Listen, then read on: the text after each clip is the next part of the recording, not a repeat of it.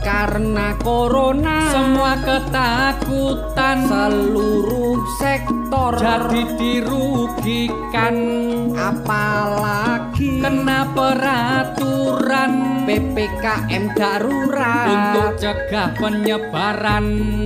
Mau gak mau semua harus nurut agar pagebluk ini cepatlah surut. Memang corona pengecut gak berwujud namun mirip kentut.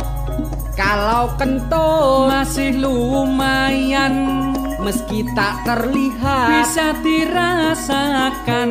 Tinggal lihat apa yang dimakan. Tahu pete jengkol apa simbuan?